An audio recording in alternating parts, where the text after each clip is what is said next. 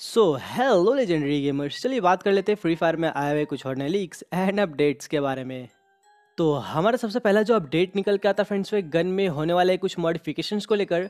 तो guys leak में total तीन गन निकल कर सामने आए हैं, जिसमें होने वाले कुछ नए मॉडिफिकेशंस पहला है पी नाइनटी दूसरा है एम फोर्टीन एंड गाइस तीसरा है प्लाज्मा वेपन तो भाई लोग, बात की जाए पी नाइनटी की, आखिर पी नाइनटी में क्या क्या चीज़ें इंक्रीज या फिर क्या क्या चीज़ें चेंज होने वाली है? तो यार, आप लोग स्क्रीन पर देख सकते हो पी नाइनटी में रेट ऑफ़ फायर को तीन परसेंट इंक्रीज किया जा रहा है।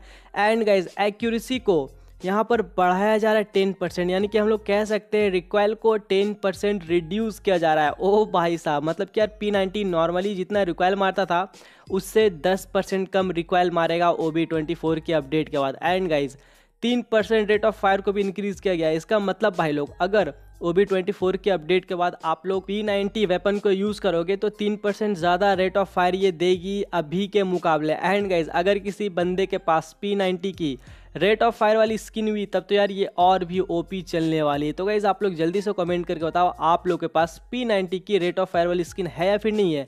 एंड गाइज़ बात की जाए एम फोर्टीन की तो एम फोर्टीन में कुछ खास चेंजेस नहीं होने वाले हैं। बस इसके डैमेज को थोड़ा सा छेड़छाड़ किया गया है। तो भाई, आप लोग को पता होगा एम फोर्टीन में मैक्सिमम डैमेज जो पड़ता था वो था 58 का एंड गाइस जो मिनिमम डैमेज पड़ता था आपके एनिमी को, वो था 30 का। तो यार, यहाँ पर डैमेज के साथ थोड़ी सी छेड़छाड़ की गई है एंड अब जो मैक्सिमम डैमेज पड़ेगी आपके एनिमी को, वो होगा 59 एंड गाइज़ अब जो मिनिमम डैमेज पड़ेगी आपके एनिमी को, वो होगा 25 यार, यहाँ पर थोड़ा सा डिसएडवांटेज हो गया, जो मिनिमम डैमेज है, उसको और भी ज़्यादा कम कर दिया गया है। ऐसे में यार अगर आपका एनिमी लेवल थ्री या फिर लेवल फोर का वेस्ट पहने हुए हुआ तो यार उनको मारने में और भी ज़्यादा प्रॉब्लम होंगी। तो यार ओ बी ट्वेंटी फोर के अपडेट के बाद हम लोग ये भी चेक करेंगे कि एम फोर्टीन पहले के मुकाबले कितना ज़्यादा एफिशिएंट है और कितना जल्दी अपने एनिमी को मार पा रहा है और कितना डैमेज दे रहा है मिनिमम कितना डैमेज दे रहा है मैक्सिमम वो सारी चीज़ों को भी हम लोग देखेंगे।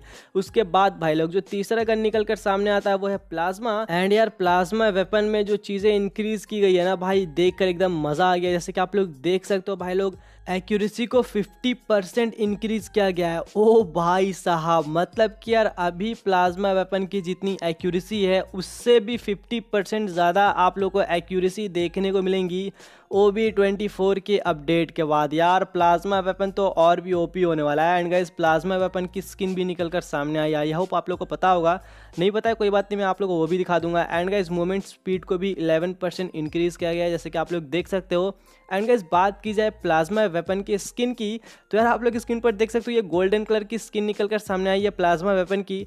फ़िलहाल इसमें ये अभी मेंशन नहीं किया गया इसके एट्रीब्यूट्स क्या होने वाले इसमें किन किन चीज़ों को इंक्रीज़ की जाएगी या फिर किन किन चीज़ों को डिक्रीज़ की जाएगी फ़िलहाल इसके बारे में तो कुछ बताया नहीं गया है। यार, प्लाज्मा वेपन की एक्यूरेसी अभी बहुत अच्छी है। एंड यार 50 परसेंट और भी एक्यूरेसी इंक्रीज होने के बाद ये कैसी चलेगी गाइज़ आप लोग थोड़ा सा इमेजिन करो। एंड ओ बी के अपडेट के बाद मैं आप लोगों को ये भी दिखाने की ज़रूर कोशिश करूँगा प्लाज्मा वेपन की जो एक्यूरेसी है वो अभी कैसी है।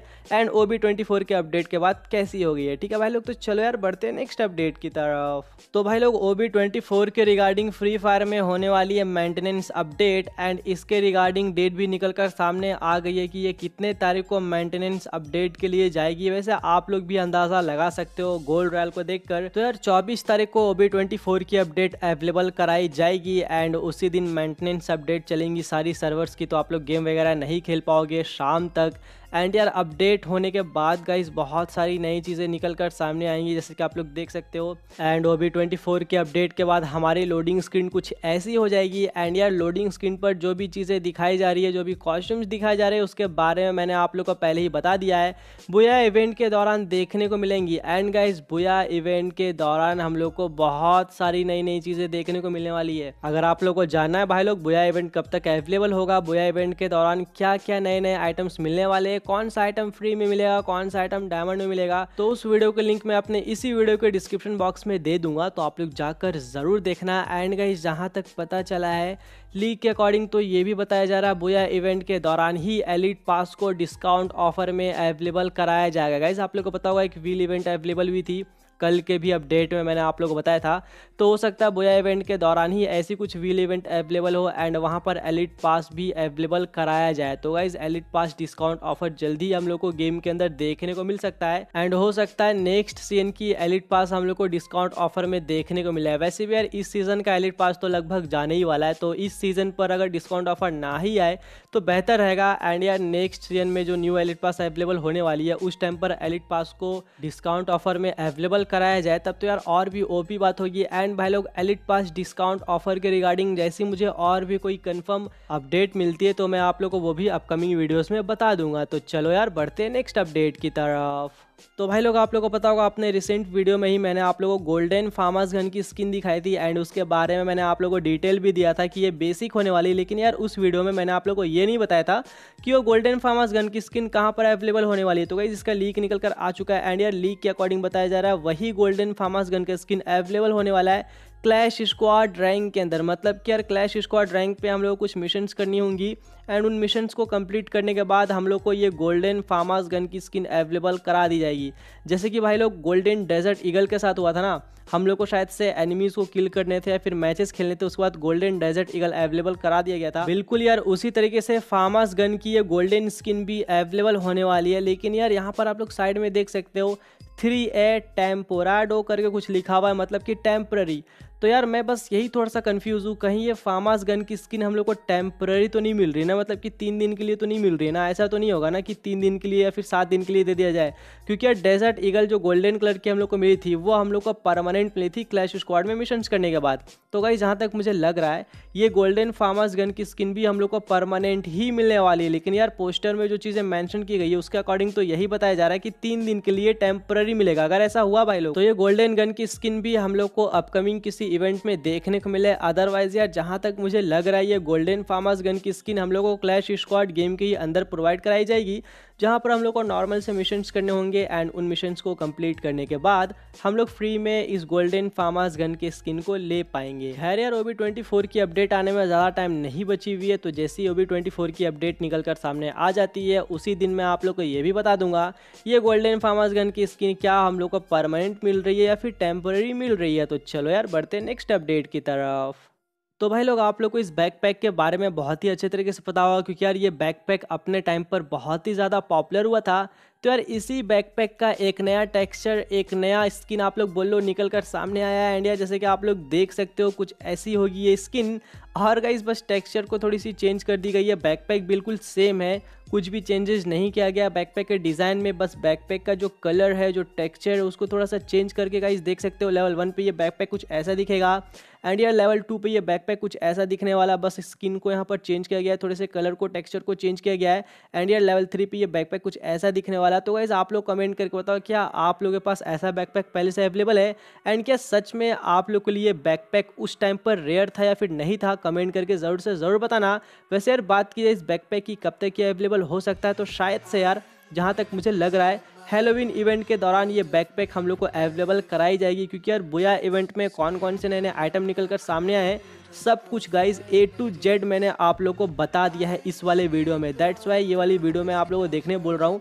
अगर आप लोगों ने नहीं देखा है तो ये वाली वीडियो जाकर ज़रूर देखना। बोया इवेंट में क्या क्या चीज़ें अवेलेबल होने वाली है, कौन से आइटम फ्री में मिलेंगी, कौन से आइटम में हम लोग को डायमंड का लोल करना होगा, सब कुछ मैंने आप लोगों को डिटेल में बताया हुआ है। फ़िलहाल यार ये बैकपैक जहाँ तक मुझे पता है हेलोविन इवेंट के दौरान अवेलेबल हो तो जैसे इस बैकपैक के रिगार्डिंग मुझे और भी कोई नई अपडेट मिलती है तो मैं आप लोग को अपकमिंग वीडियो में बता दूँगा। तो चलो यार, बढ़ते नेक्स्ट अपडेट की तरफ़। गाइस, आप लोगों को पता होगा, जब ये झाड़ू वाली सर्फबोर्ड अवेलेबल कराई गई थी डायमंड टॉप अप इवेंट में, यार, अपने टाइम पर बहुत ज़्यादा ये पॉपुलर हुआ था। एंड जहाँ तक मुझे पता है 80 परसेंट बंदों ने इस झाड़ू वाले सर्फबोर्ड को ज़रूर से ज़रूर लिया होगा डायमंड टॉप अप इवेंट से। शायद से डायमंड टॉप अप इवेंट में अवेलेबल हुआ था। एंड गाइज़ अगर कहीं और अवेलेबल हुआ हो तो आप लोग कमेंट करके बता देना। मुझे उतना कुछ खास याद नहीं है, लेकिन हाँ मेरे दिमाग में आ रहा, शायद से डायमंड टॉप अप इवेंट में अवेलेबल होता। तो गाइज़ इसी झाड़ू टाइप का सर्फबोर्ड एक और निकल कर सामने आ गया है लीक में। एंड जैसे कि भाई लोग आप लोग देख सकते हो, बिल्कुल उसी टाइप का यहाँ पर टेक्सचर वगैरह निकल कर सामने आए हैं। शेप भी बिल्कुल वही है। बस यहाँ पर कलर को थोड़ा सा चेंज कर दिया गया है, उसके और को थोड़ा सा चेंज कर दिया गया है एंड और को पहले के मुकाबले थोड़ा सा बढ़ाया गया है। एंड गाइज़ देख सकते हो, कतई हैरी पॉटर का झाड़ू बना दिया गया इस सरबोर्ड को। और यार, ये सरबोर्ड भी हम लोग को हेलोविन इवेंट के दौरान ही अवेलेबल कराई जाएगी। क्या ये सरबोर्ड भी डायमंड टॉप अप इवेंट में ही अवेलेबल होगी, या फिर किसी अदर स्पेशल इवेंट में अवेलेबल होगी, वो मैं आप लोग को अपकमिंग अपडेट में बता दूँगा। खैर यार, आप लोग जल्दी से ये कमेंट करके बता दो, आप लोग को ये झाड़ू वाली सरबोर्ड की स्किन कैसी लगी? लोल तो चलो यार, बढ़ते नेक्स्ट अपडेट की तरफ़। तो हमारा अगला जो अपडेट निकल के आता फ्रेंड्स वो गेम के अंदर अवेलेबल होने वाले नए कॉस्ट्यूम्स को लेकर।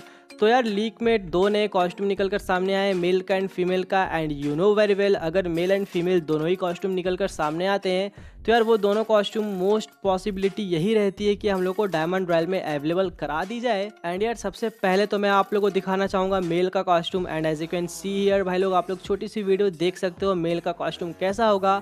उसके टेक्स्चर कैसे होंगे फ्रंट से वो कैसा दिखेगा बैक से वो कैसा दिखेगा, सब कुछ गाइज़ आप लोग देख पा रहे होगे। एंड भाई लोग कॉस्ट्यूम मुझे पसंद आया, आप लोग देख सकते हो कुछ स्केल्टन टाइप की टेक्स्चर भी अंदर में बनी हुई है। यार क्या मस्त लग रहा है गाइज़ बस मुझे इस कॉस्ट्यूम का एक चीज़ पसंद नहीं आया, वो है इसका हैट ऊपर देख सकते हो जो भी इसका हेयर स्टाइल है या फिर हैट जो भी बुला लो।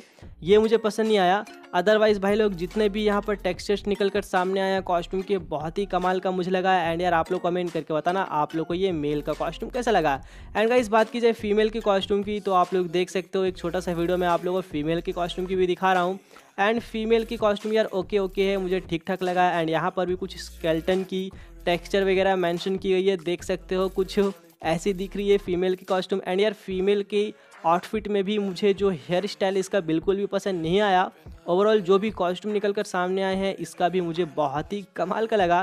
तो यार, आप लोग कमेंट करके ज़रूर बताना, आप लोग का मेल का कॉस्ट्यूम अच्छा लगा या फिर फीमेल का कॉस्ट्यूम अच्छा लगा? एंड गाइज़ जहाँ तक मुझे लगता है, इन कॉस्ट्यूम के बारे में, देखो भाई लोग, ये सिर्फ़ मेरी एक प्रिडिक्शन है लीक में ऐसा कोई भी डिटेल मैंशन नहीं किया गया है। तो जहाँ तक मुझे लगता है भाई लोग, ये कॉस्ट्यूम भी हम लोग को डायमंड रॉयल के अंदर ही देखने को मिलेंगी। हो सकता है पहले मेल का कॉस्ट्यूम अवेलेबल हो जाए फिर फीमेल की कॉस्ट्यूम अवेलेबल हो अदरवाइज़ ऐसा भी हो सकता है, पहले फीमेल के कॉस्ट्यूम अवेलेबल हो जाए एंड देन मेल का कॉस्ट्यूम अवेलेबल करा दिया जाए।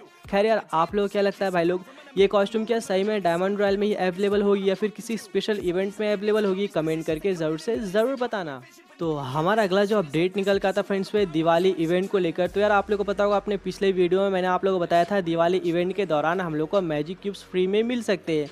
तो यार, हमारे बहुत सारे चैनल के मेंबर का ये कहना था, भाई, दिवाली इवेंट में हम लोग को सीधा मैजिक क्यूब अवेलेबल कराया जाएगा या फिर मैजिक क्यूब फ्रेगमेंट्स अवेलेबल कराए जाएँगे? गाइज़ देखो, इसका सीधा सीधा मैं आप लोग को आंसर देना चाहूँगा। भाई लोग, हो सकता है ये जो अभी नया दिवाली ऑफ़र आने वाला है नया दिवाली इवेंट आने वाली है। इस दौरान हम लोगों को मैजिक क्यूब फ्रेगमेंट्स अवेलेबल कराई जाए क्योंकि यार 2019 में जो दिवाली इवेंट आई थी एंड उस दौरान जो मैजिक क्यूब दिए जा रहे थे ना यार, उस टाइम बहुत ज़्यादा भसड़ मचा था। फ्री फायर का सर्वर टोटली क्रैश हो गया था, क्योंकि यार वहाँ पर सिर्फ़ एक गेम प्ले करना था एंड एक गेम प्ले को करने के बाद सीधा सीधा मैजिक क्यूब दे दिया जा रहा था। दैट्स वायर कुछ कुछ बंदों को तो दो मैजिक क्यूब मिल गया था एंड बाद में एक मैजिक क्यूब को डिटेक्ट भी कर लिया गया था। आप लोगों को पता होगा, उसको लेकर बहुत ज़्यादा कॉन्ट्रोवर्सी भी हुआ था। दैट्स वाई जहाँ तक मुझे पता है गहना वाले इस बार दिवाली ऑफ़र में सीधा सीधा मैजिक क्यूब अवेलेबल नहीं करवाने वाले हो। सकता है मैजिक क्यूब फ्रेगमेंट्स दे दे और हम लोगों को कुछ मिशंस करने हो, तब जाकर हम लोग को डेली के मैजिक क्यूब फ्रेगमेंट्स मिल जाए एंड उसके हेल्प से हम लोग मैजिक क्यूब को एक्सचेंज कर पाएँ। लेकिन हाँ मैं आप लोग को फिर से बता दे रहा हूँ सीधा सीधा मैजिक क्यूब 2020 की दिवाली इवेंट में हम लोगों को देखने को नहीं मिलेगा। तो आई होप भाई लोग, अब आप लोग को ये समझ में आ गया होगा कि दिवाली इवेंट में हम लोग को सीधा सीधा मैजिक क्यूब अवेलेबल कराया जाएगा या फिर मैजिक क्यूब फ्रेगमेंट अवेलेबल कराया जाएगा। तो चलो यार, वीडियो को भी यहीं एंड करते हैं। यही कुछ छोटे मोटे अपडेट थे जो कि मुझे आप लोगों को देना था। तो गाइज़ आज का लाइक एम रखते हैं। 19 के लाइक एम आई होप यार आप लोग कंप्लीट कर दोगे। एंड यार, अगर कोई सवाल या सुझाव हो, आप लोग कमेंट कर सकते हो। एंड यार, अगर आप लोगों ने चैनल को सब्सक्राइब नहीं किया है तो भाई लोग सब्सक्राइब करके बेल नोटिफिकेशन को भी ऑन कर लेना। तो चलो यार, मिलेंगे नेक्स्ट वीडियो में। Till then bye have a good day see you soon and thank you so much guys for your love and support